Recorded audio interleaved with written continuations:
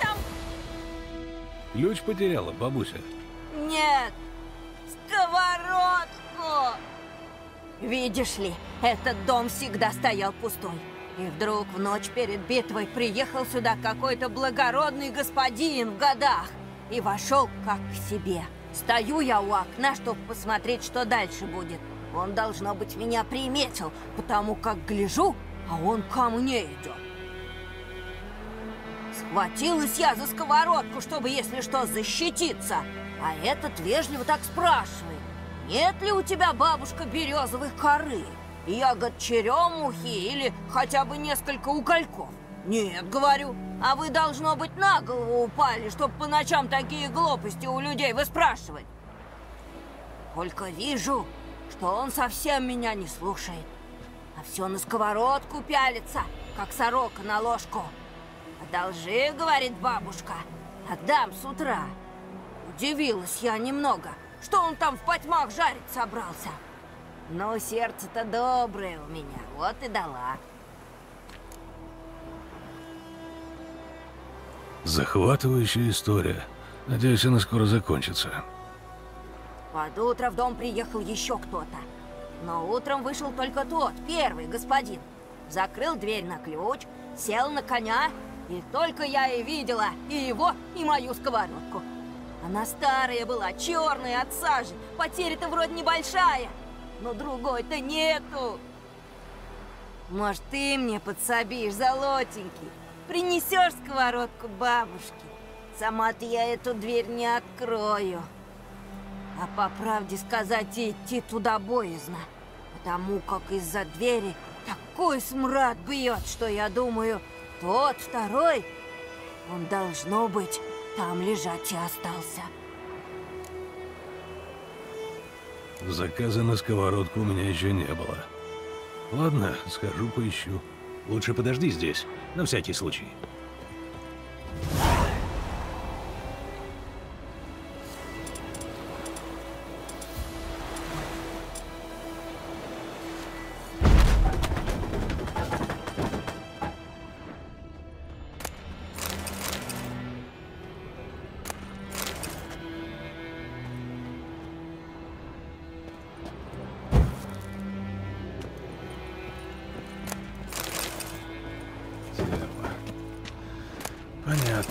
Запах. Удушен, горотой. Остальное старые шрамы, как у солдата. Что? Треснувший монокль. Интересно. А вот когда я сама с собой болтаю, говорят, я чудная стала.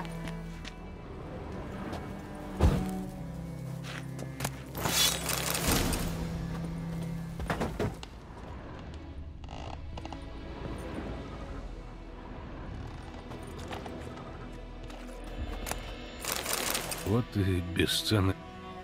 Похоже, нашему таинственному господину нужна была не она, а Сара, чтобы сделать тушь и написать письма. Ну что, нашел сковородку? Какие-то документы сожжены почти дотла. Но некоторые фрагменты, пожалуй, можно прочесть. Ну что, нашел сковородку?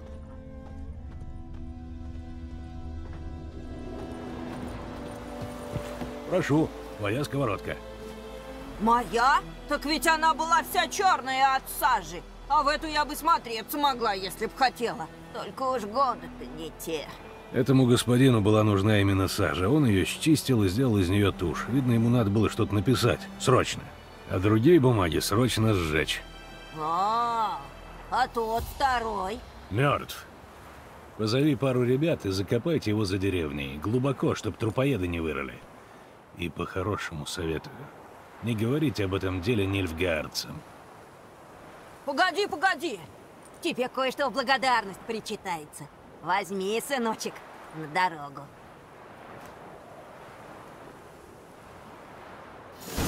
Пожарю-ка я себе на ужин сика. Иди, плохая.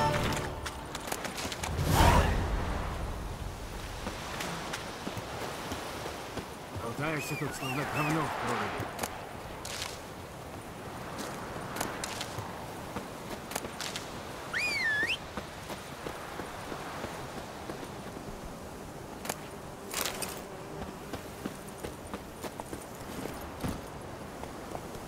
Но! До богов высоко, до императора далеко. Наказание божье с хорошо.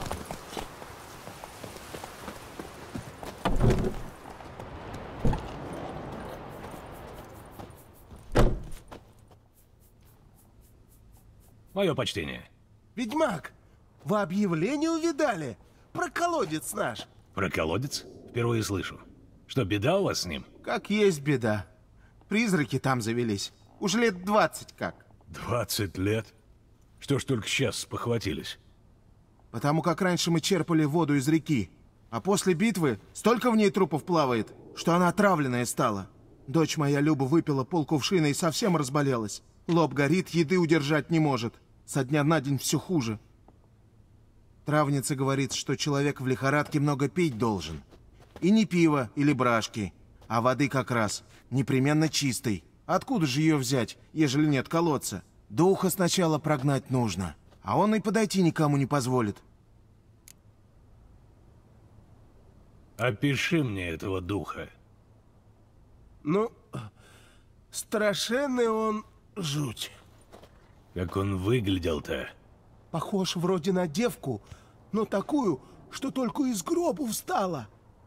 Платье на ней грязное, все изодрано, кожа прямо кусками сходит, а воет, будто страдает очень. Значит, какой-то призрак. Или Альп. Да как ни назовите, мастер-ведьмак. Если вы им не займетесь, схороню я доченьку мою. Хорошо, помогу тебе. Так где этот колодец? В Хущах. Это хутор такой был, к югу отсюда, на пригорке. Никто туда не заходит, потому как дух, понимаете, прогоните его. Очень прошу.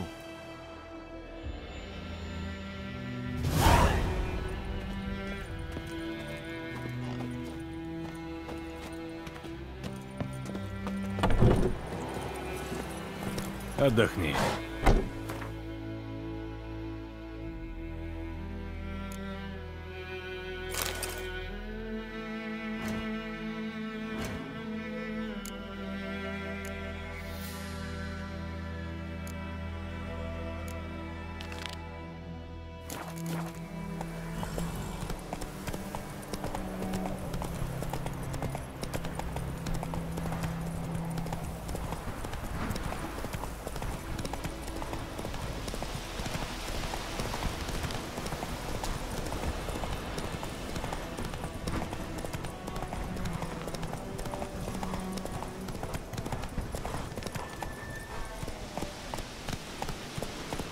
И несчастный колодец. Странно. От духа ни следа. Может, он появляется в определенное время? Трава вокруг колодца выжжена.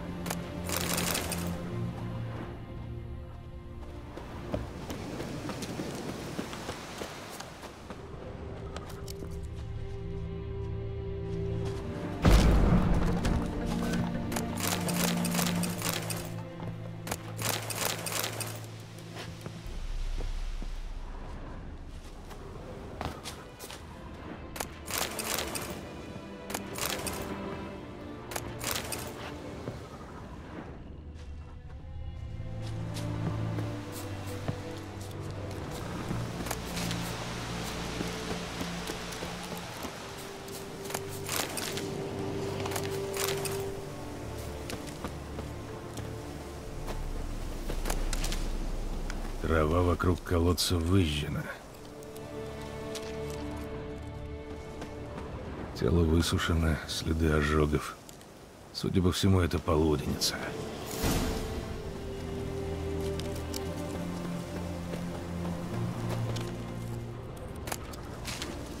Похоже, полуденница не отходит от колодца.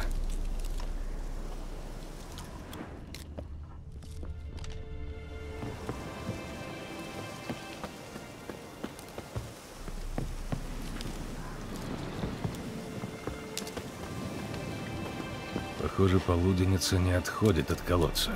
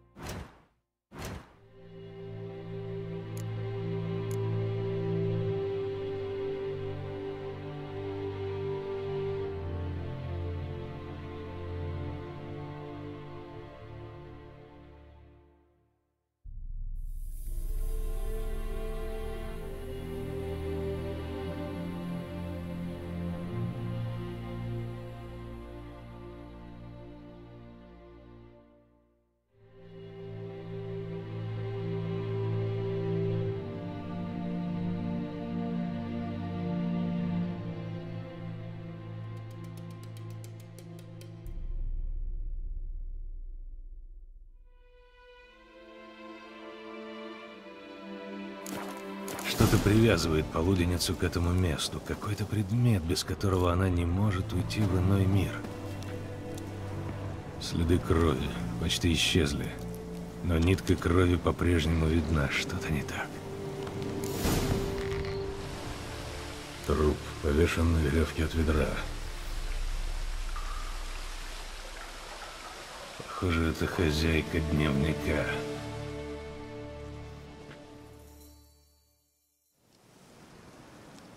Широкий таз, маленькие челюсти, женщина, судя по зубам лет 30, без левой руки. Надо сжечь останки, а перед этим понять, что связывает ее с этим местом. Может, у нее на руке был мужнин браслет, и кость потому и отвалилась? Придется прыгать. Надеюсь, не переломаю ноги.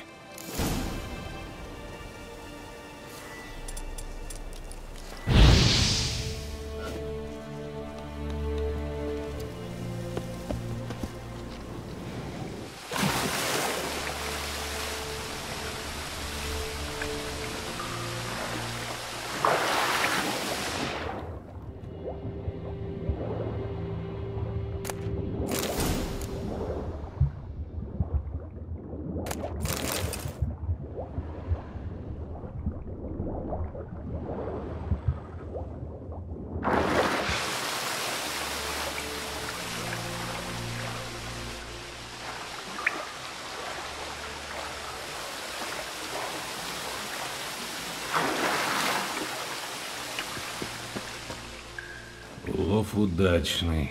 Браслет с гравировкой. Ларри от Волькера. Похоже, этот браслет принадлежал женщине, которую я нашел в колодце. Отличная работа, но придется его сжечь вместе с телом где-нибудь поближе к колодцу. Иначе полуденницу не изгнать.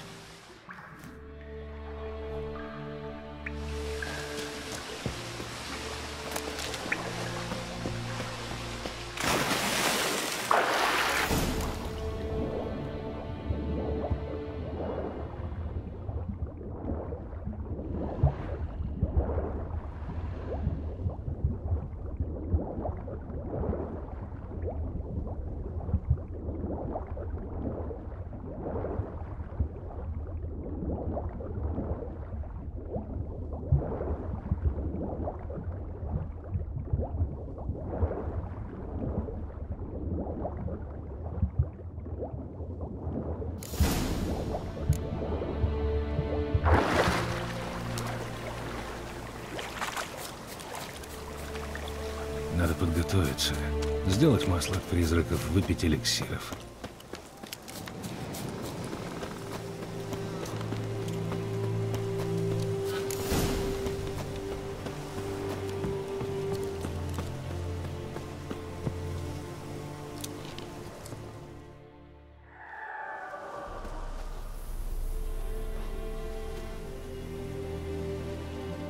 и браслет.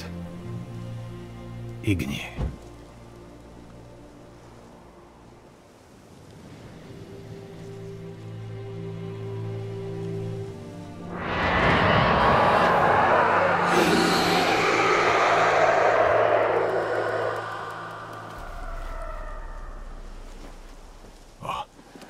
Сработало.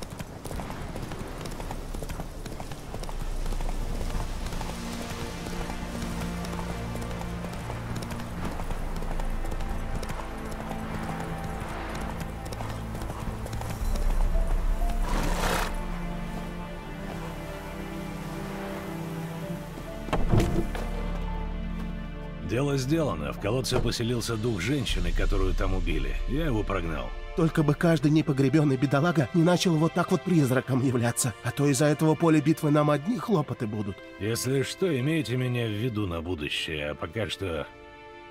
Клара, Волькер, говорят тебе что-то эти имена? Не знаю таких. Хотя травница наша Тамира вспоминала как-то какую-то Клару. Может, о ней и речь? Ваша награда, мастер. Золото, что я для Любы в приданое собрал. Без вас бы она до свадьбы и не дожила. А так есть надежда. Что-то сомневаюсь, что мне приданное пригодится. Сохраните деньги Любе на свадьбу. Выпейте тогда за мое здоровье. Спасибо, Милздарь Ведьмак. За доброе сердце, за теплое слово. Но с пустыми руками я вас не отпущу. Возьмите хотя бы это.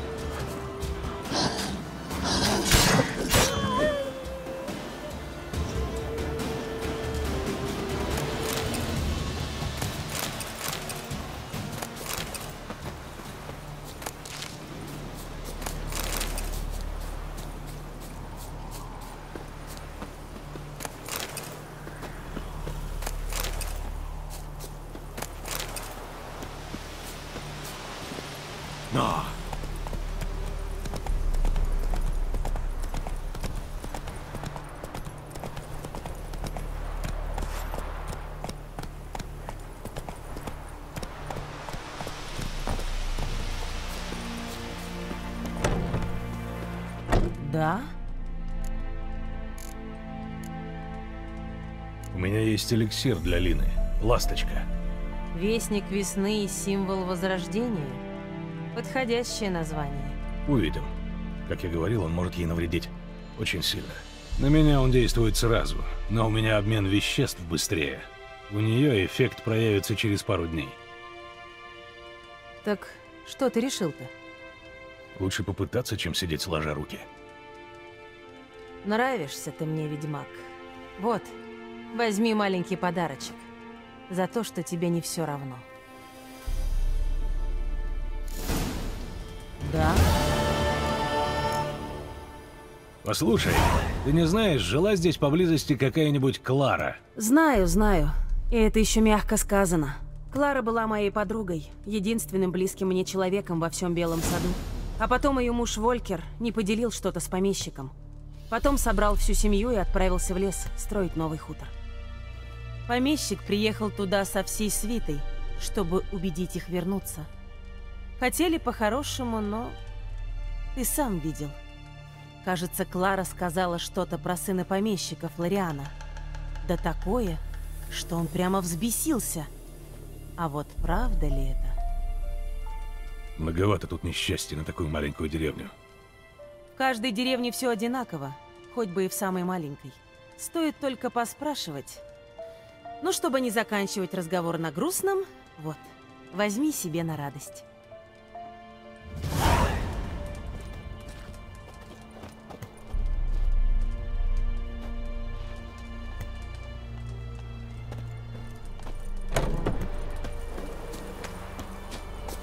Пошла! Эй, эй!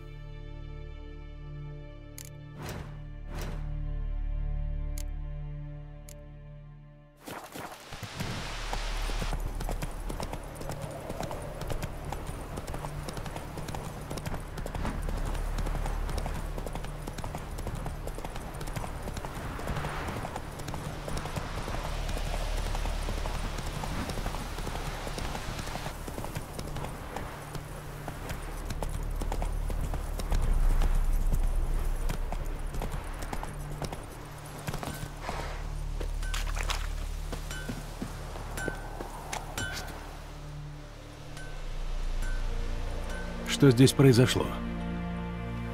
Да вот что-то прохладно мне стало ночью. Вот я и развел огонь под кузней. Потрескивало так приятно. Заодно и колбаску пожарил. Ну как ты думаешь, что случилось, баран? Спалили мне халупу, мастерскую. Все я потерял. Все.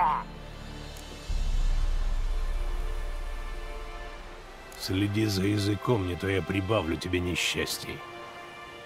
Ты кого-нибудь подозреваешь? Да всю деревню. Я живу здесь полвека, думал, они меня своим считают. Но все поменялось, когда пришли черные. Я единственный кузнец в округе, так что приходится и на гарнизон работать. Клепаю пугнутые панцири, подковы ставлю, все такое. Нильфгардцы не платят ни гроша, дают только материалы и приказывают. А люди-то не верят, они думают, что я богатею на их несчастьях, сплю на куче золота, вроде как дракон. Перестали со мной разговаривать, плюются при виде меня. А теперь вот это.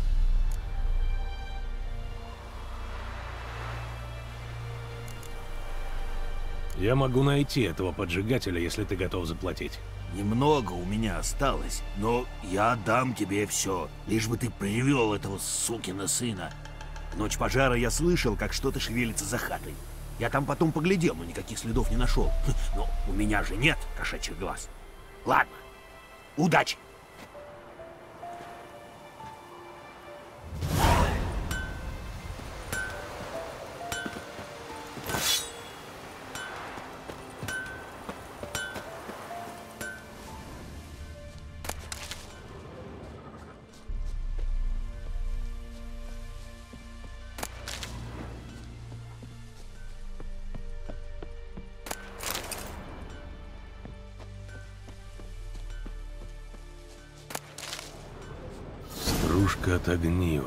Поджигатель, похоже, зажег здесь факел, бросил его на крышу.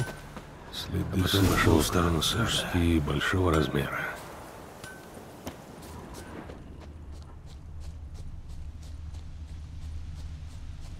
Смердит человеческой мочой и водкой.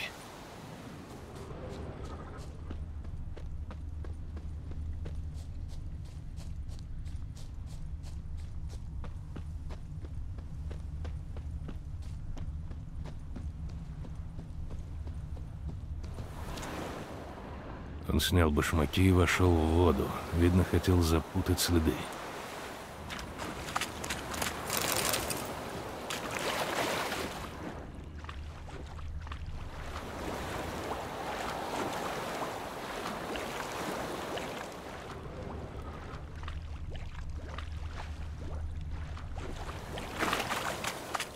Что-то выскочило на него из камышей.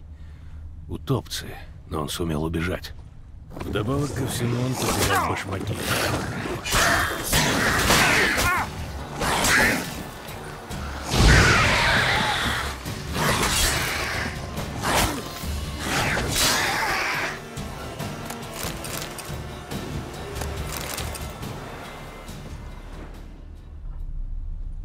Не вошла кровь. Не сильно, рана была неглубокая.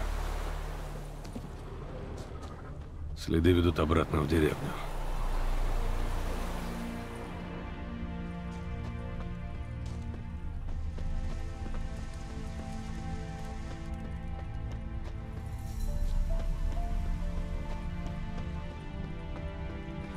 След обрывается, я смогу узнать его по ране.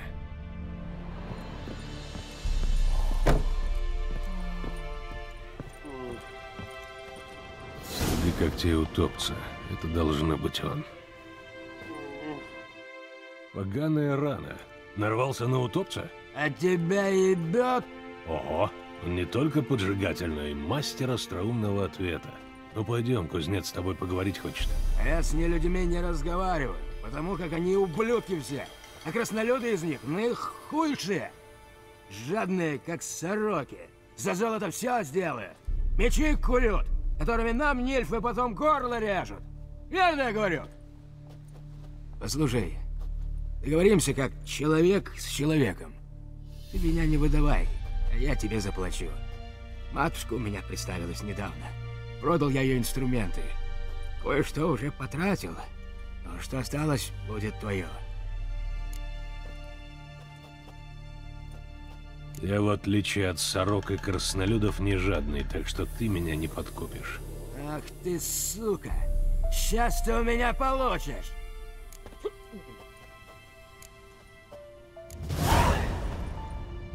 Успокойся и иди со мной.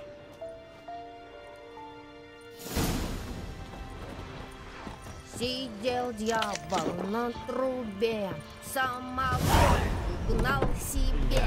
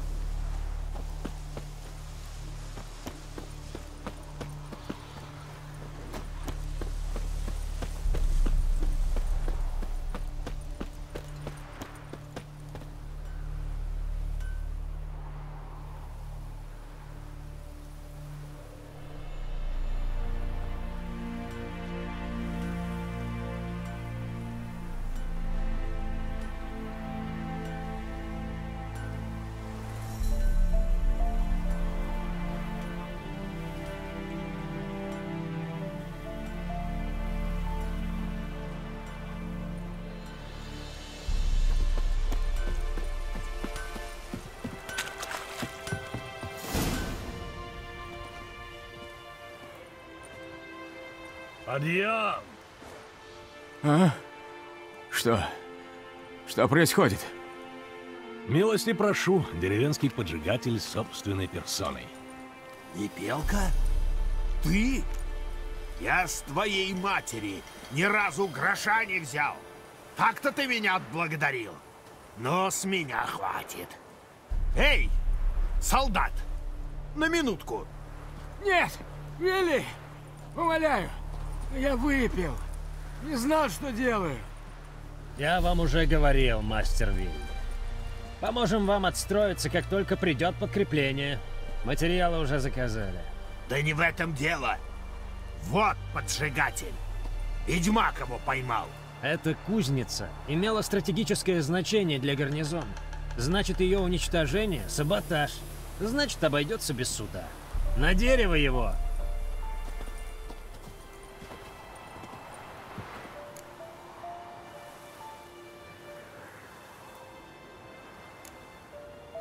Суровая кара. Но заслуженная. Ты знаешь, сперва я тоже нильфов ненавидел. Теперь вот думаю, может, хоть они здесь порядок наведут. Научат этих лодырей манерам. Но да неважно. Твоя награда. И, кстати, я ж кое-что успел вынести из пожара. Да и наковальня цела. Кое-что могу выковать. Так что, если что понадобится, скажи, сделаю скидку. Приветствую старого клиента. Чего тебе нужно на этот раз? Сделай мне одну вещицу.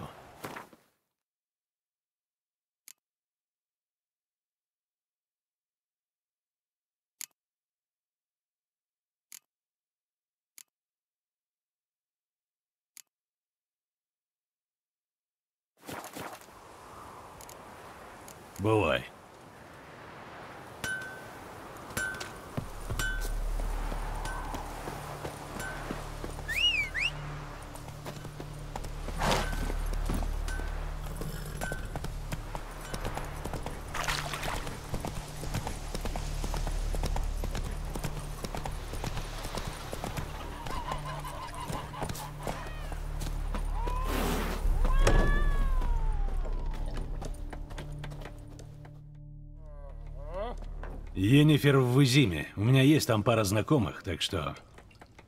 Что-то не так? Посмотри вокруг. Сейчас скандал будет.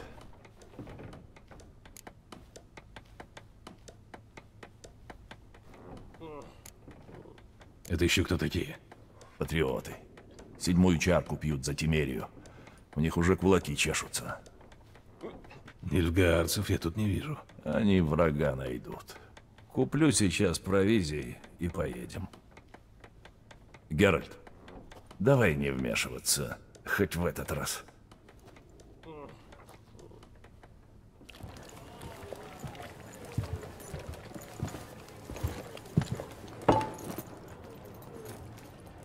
Что случилось со щитом?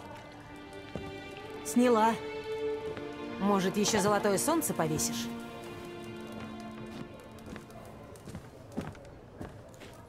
Нельзя тут тимирский герб вешать. Они придут и корчму спалят. Так может, правду люди говорят? Что ты шлюха нильфгардская?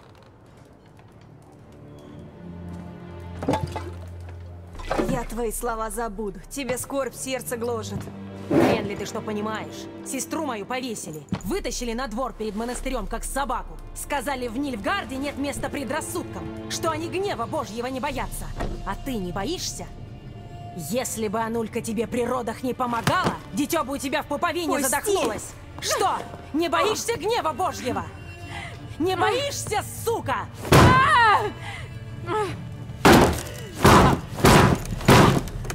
Оставь!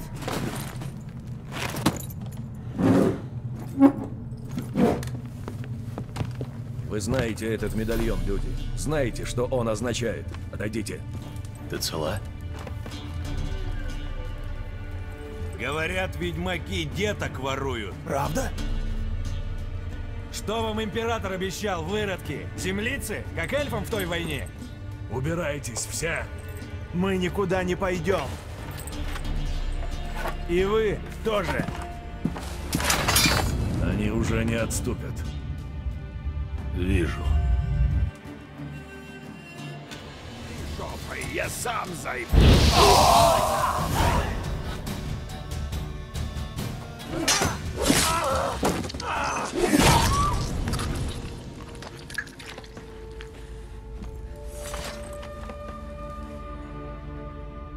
Ничего, все кончилось.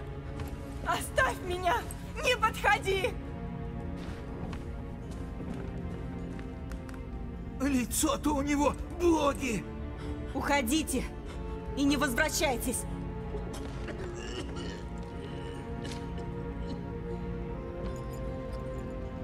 Ну вот и все невмешательство.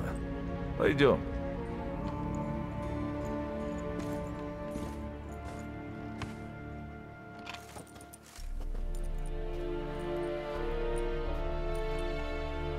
Не мы это начали.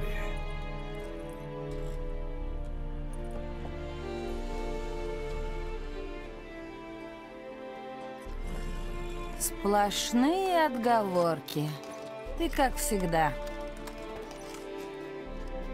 Енифер? Ну как? Я получила донесение, что в Белом саду появился ведьмак. Я знала, что это ты, что ты ищешь меня. Я могла бы подождать, пока ты меня найдешь. Но ты же знаешь, я никогда не отличалась терпением. Рада тебя видеть, Геральт. Я бы тебя обняла, только ты весь в крови. Прости, я не надеялся тебя встретить. Сказать по правде, я иначе представлял себе нашу встречу. Как? По крайней мере, без нильфгардского эскорта. Йеннифер, не пойми меня неправильно, я тоже рад тебя видеть. Но мне кажется, ты должна нам объяснить. Я объясню. Но в зиме. Седлайте коней.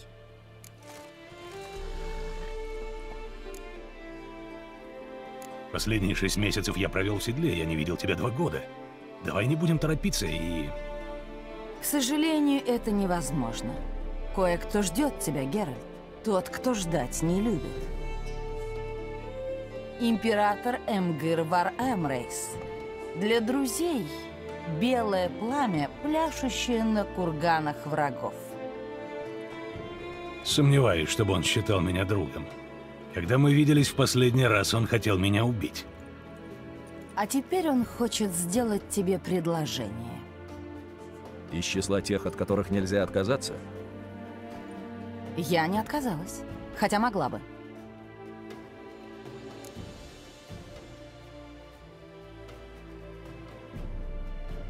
Ну хорошо, можно послушать, что он хочет предложить. Император Нильфгаарда, сеньор Метины, Эббинга и Гимеры, суверен Назаира и Виковара наверняка сочтет это за честь. А ты? А я поеду в другую сторону. Сдается мне, что император приглашает только тебя. Кроме того, у меня есть чем заняться. Каэр Морхен, помнишь? Помню. Спасибо за помощь. И до свидания. У тебя конь быстрый?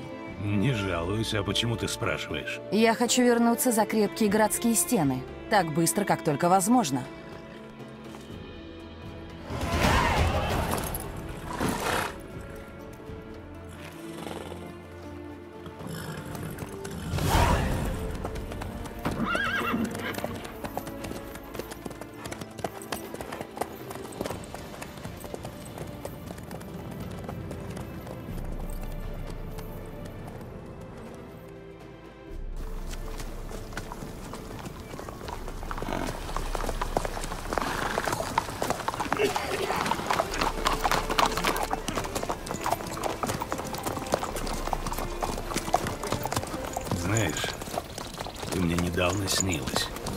Насколько я тебя знаю, сон был неприличный.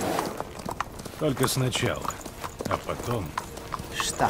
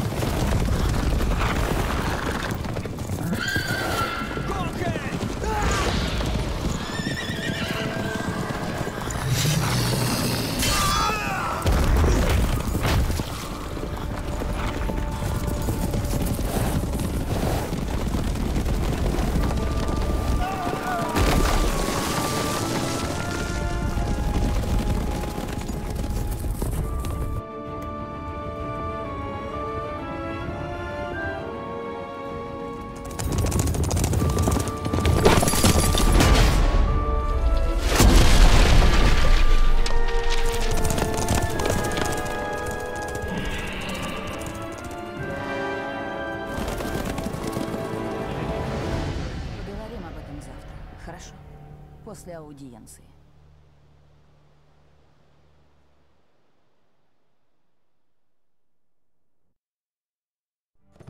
В поисках Йеннифер, своей давней любви, Геральт очутился в окрестностях деревни Белый Сад. Казалось, что чародейка опережает ведьмака лишь на шаг, и все же она оставалась неуловимой. В конце концов, благодаря коменданту Нильфгардского гарнизона, Геральт узнал, что Йеннифер находится совсем рядом, в Изиме.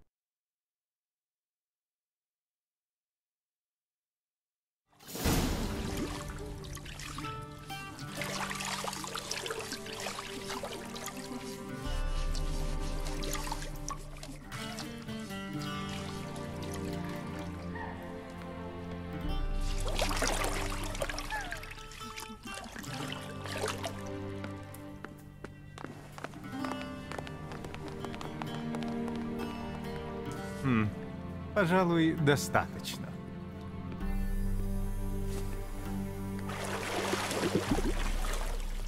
Думаешь, императору важно, не слишком ли длинные у меня уши? Милостивый государь, извольте упоминать его императорское величество, используя полный титул. Ваша милость, присядьте на этот бержер. Куда? На этот стул. Кледвин, прошу побрить его милость. Виски на полдюйма.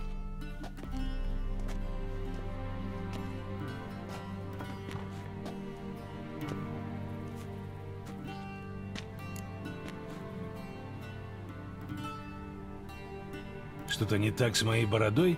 Я думал, она добавляет мне серьезности. Но лишает вас элегантности. В Нильфгаарде борода не приветствуется. Особенно если в ней завелись вши.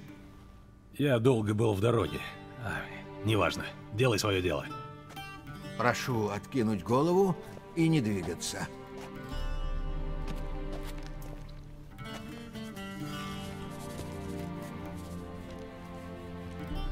Как подготовка к аудиенции? Все по плану? Да, ваше превосходительство. Его милость предстанет в более или менее презентабельном виде. А ты кто такой?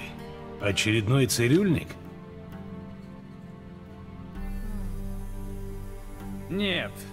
Морвран Ворхис, командующий дивизией Альба. Мои люди сопровождают Йеннифер.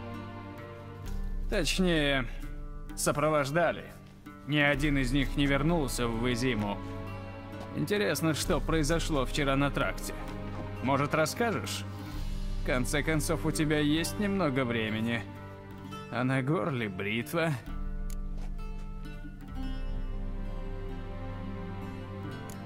Их убила дикая охота. Кавалькада призраков, скачущих по ночному небу?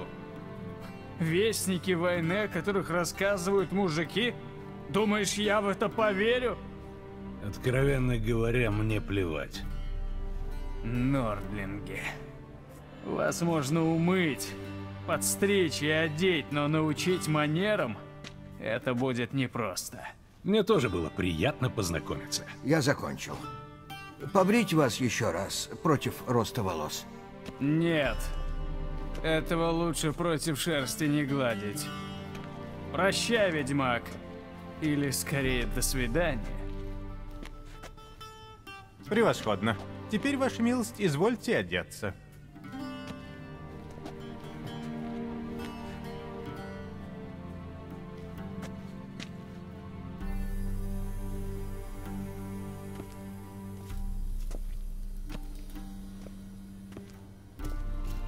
К сожалению, у меня не было точных размеров, вашей милости. Если будет сжать, портной внесет поправки.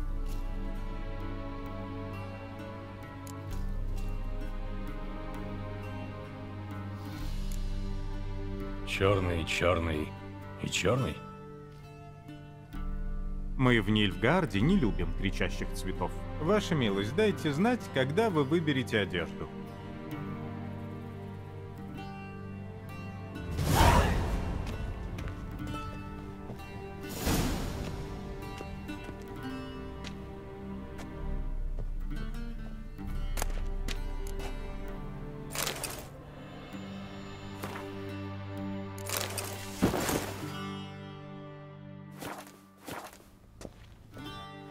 А говорят, не платье красит человека.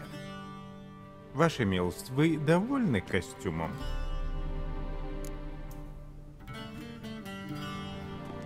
Я был бы доволен стеганым дублетом и мечом за спиной. Но что делать, с волками жить?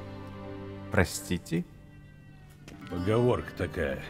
Что теперь? Будете меня пудрить? Нет нужды. У вашей милости достаточно ясное лицо. Но прежде чем вы предстанете перед владыкой Юга и Севера, я должен убедиться, что ваша милость знает, как следует кланяться.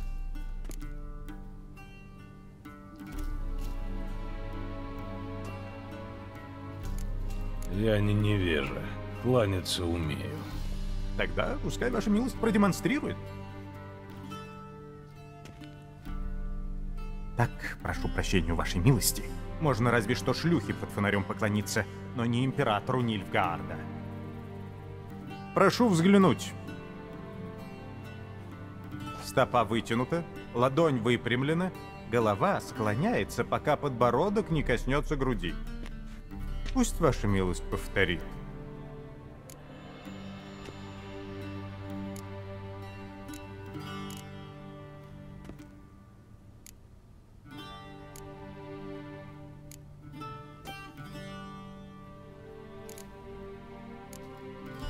Наверное, шутишь?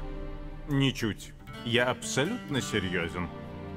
Знает ли ваша милость, что грозит за нарушение этикета в присутствии императора? 200 палок. Я не желаю этого для вашей милости, поэтому не выпущу вас отсюда до тех пор, пока не буду уверен, что вы умеете себя вести.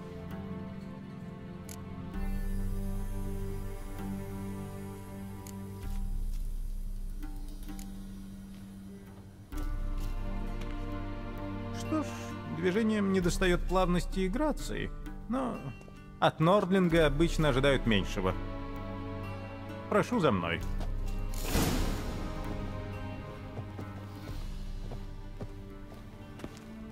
К императору, ваша милость, обращаться только по его явному соизволению, соответственно, его именуя. Ваше архивеликолепие? Вижу, ваша милость в настроении шутить. Боюсь, император может этого настроения не разделить. Достаточно, ваше величество, сказанное громко, выразительно и с почтением.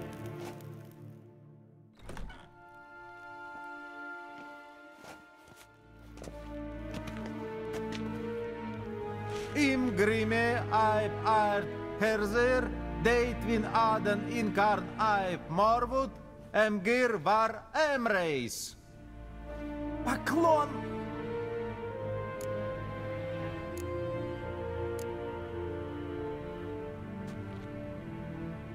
Император? Арер to Orde. Эвелен Наман Вадгарн, Лаборт.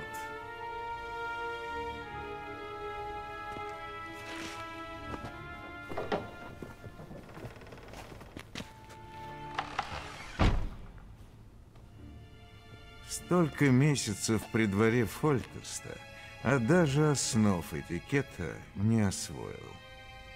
Ну, есть поговорка. Старого пса новым фокусом не научишь.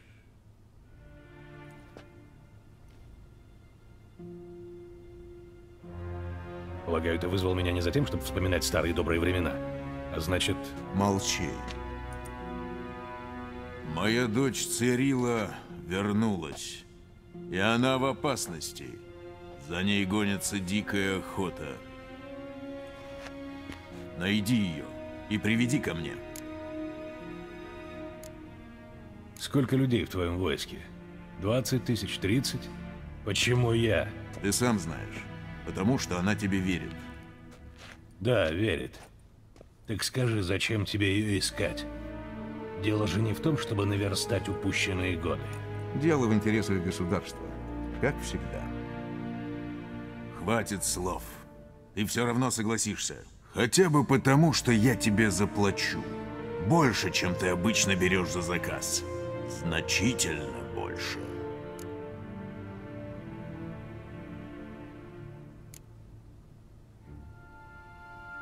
Оставь свою щедрость для тех, у кого войска сожгли дом. Я сделаю это ради Цири. а не ради твоего золота. Мотивы меня не интересуют. Только результаты. Остальное тебе скажет Йеннифер. Аудиенция окончена. Меррит, проводи его к чародейке.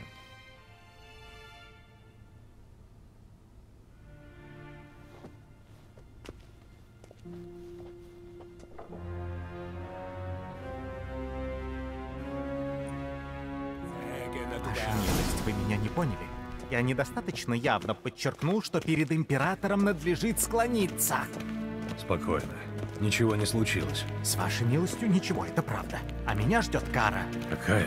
Прошу вашу милость держаться в рамках приличия и никого не задевать. Хватит нарушения этикета на один день. Простите? Ты знаешь, с кем говоришь, солдат? Я, Эреван II, князь. Ландер. Ja, Мало того, что Anne. тут меня здесь как Rättsliden är Annet Eston SSR Annet Esma Sägen att du vän. Эссеклите. Финврае Брейнегар. En kelti Dangard Vraj. Esse planten aet Nordmarket. Ваша милость, как только вы закончите, прошу прийти ко мне за своими вещами. Тогда записывай. На самом деле власть в Новиграде осуществляют не купцы и не городские советники. Геральт, в этом дублете ты потрясающе выглядишь. Жду не дождусь, когда смогу его снять. В других обстоятельствах я бы расценила это как предложение. И, может, даже воспользовалась бы им. Но нас ждут другие дела.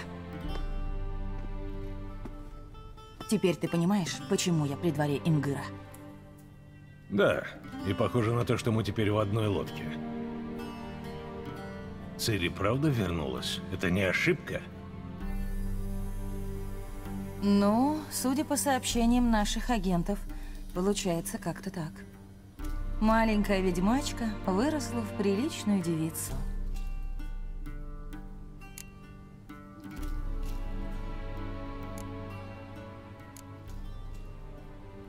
Чтоб меня. Она и вправду выросла. Прошло немало лет с тех пор, как ты учил ее в Каэр Морхене. Многое изменилось.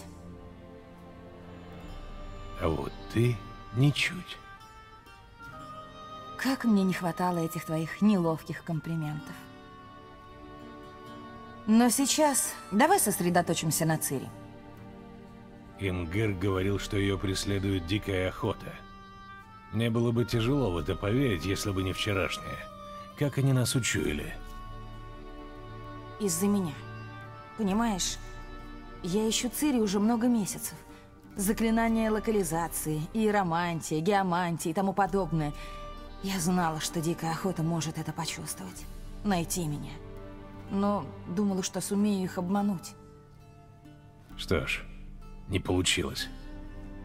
Угу. С некоторых пор я чувствовала, что они идут за мной по пятам, охотятся на меня. Если бы не ты и солдаты Мгыра, они бы добились своего. Не знаю, чем закончится следующая такая встреча. Придется закончить с чарами и вернуться к более традиционным методам. Попросить о помощи лучшего следопыта, которого я знаю. Ты должен ее найти, Геральт, прежде чем это сделает дикая охота.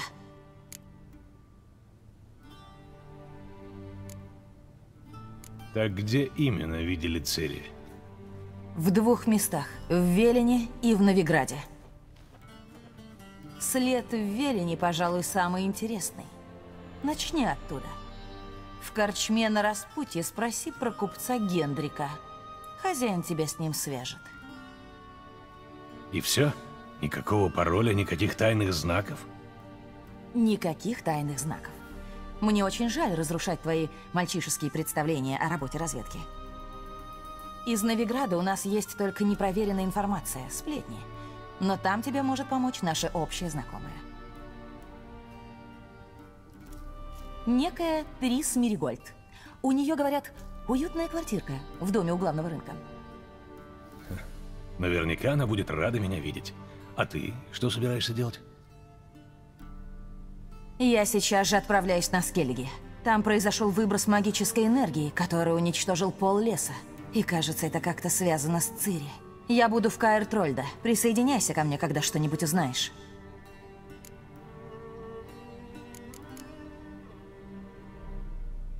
Прежде чем мы расстанемся, почему ты не появилась раньше? Я был тебе не нужен? Нет, это я была тебе не нужна. Вы с Трис замечательная пара. Йен, я потерял память. Правда, отличная отговорка. Давай не будем на эту тему. Если я еще раз услышу «все не так, как тебе кажется» или «теперь я понял, как тебя люблю», я за себя не ручаюсь.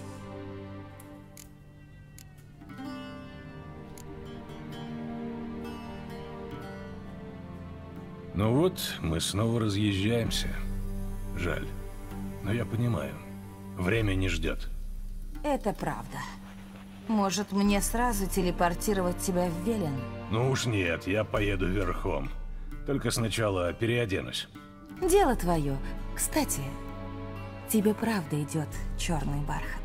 Ты думаешь? Может, обошью себе им доспехи. Удачи, Йен. И тебе. Послушай, если ты вдруг захочешь узнать, что случилось в мире, пока ты шатался с Весемиром по бездорожью, поговори с послом Варатра. И, Геральт, я знаю, что кругом война, все такое, но не пытайся стать героем, хорошо? Проверь эти следы и приезжай ко мне, живым и здоровым. Я буду тебя ждать.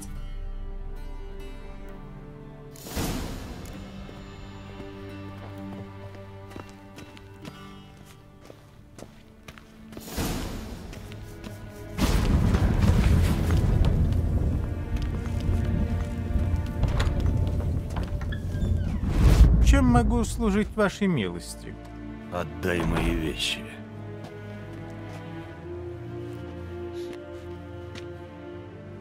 Цитрус и гвоздика. Благодаря этому аромату платье вашей милости дольше сохранит свежесть. Угу. Покорнейше благодарю. Император не славится терпением. Он хочет видеть свою дочь живой и здоровой как можно скорее. Да, он, кажется, что-то об этом говорил. Прощай. А,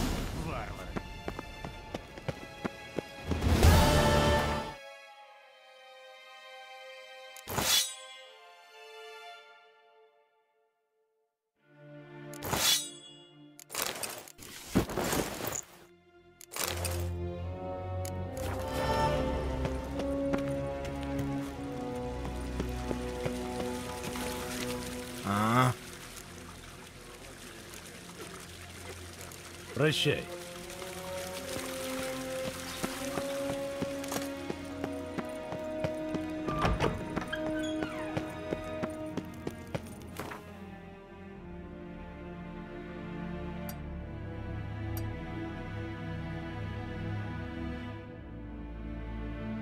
Встреча с Йеннифер оказалась не самым важным событием во время пребывания Геральта в Изиме.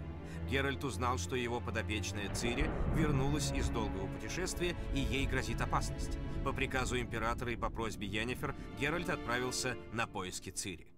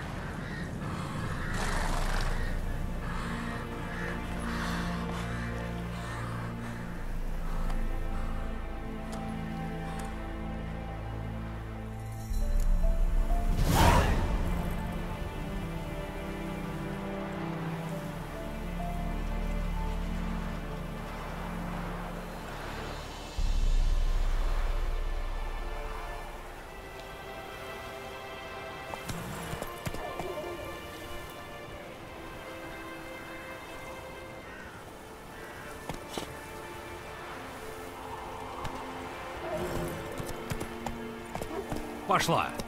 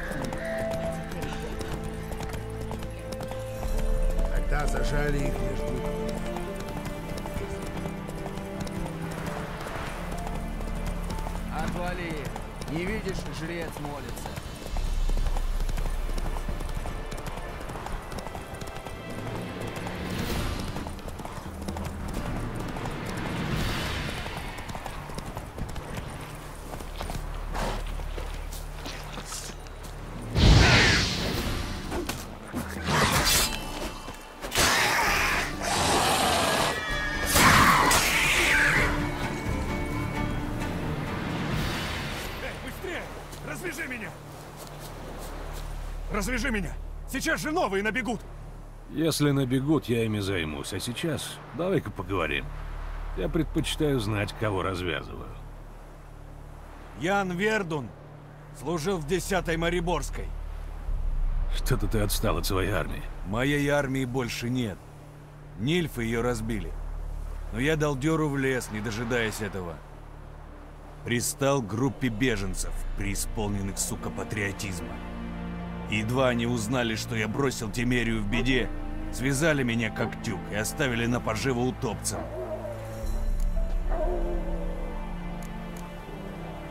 Я тебе помогу. О, спасибо.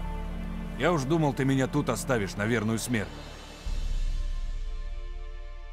Хотел бы я тебя как-нибудь отблагодарить, но у меня даже ломаной кроны нет. Что делать? Такие мои убытки. Спасибо, ведьмак. Пусть тебе повезет.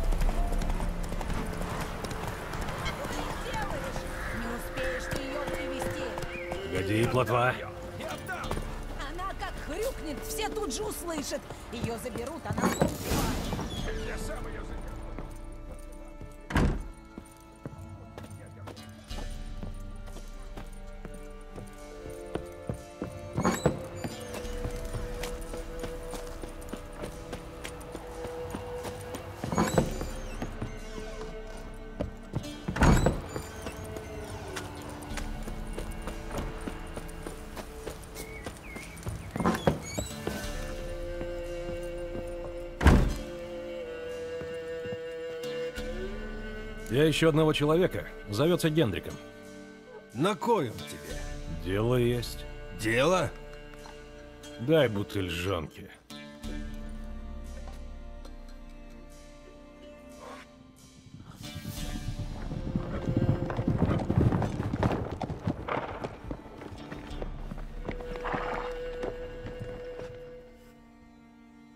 Текай отсюда. Я черный вход открою.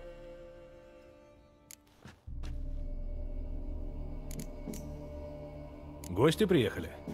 Что за люди? Корчмарь! Оки! Это кто? Храбрый, видать, вояка. Два меча навесил. Ты, Седой, на что тебе два меча? А в штанах он два хера держит. Ты, сука, глухой? Скажешь, кто ты такой есть? Или тебе язык ножом развязать?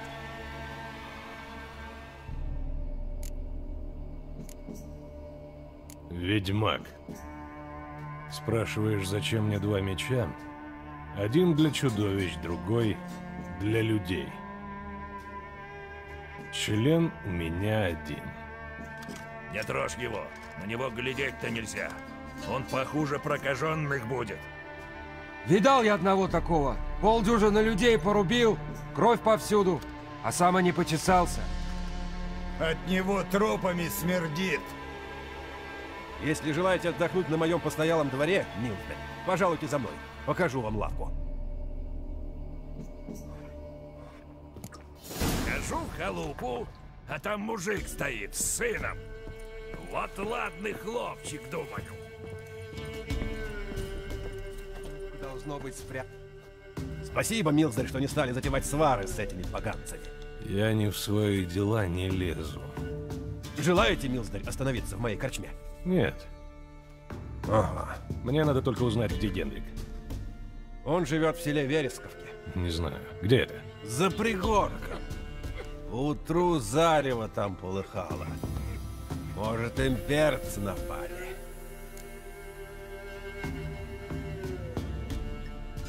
Кто такой Генрик? Странный он мужик.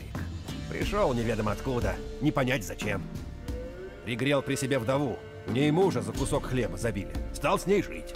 Люди барона чужих не любят. Он им дороги не переходит. Всегда знает, когда они явятся, и тут же пропадает. Спасибо, Корчмарь.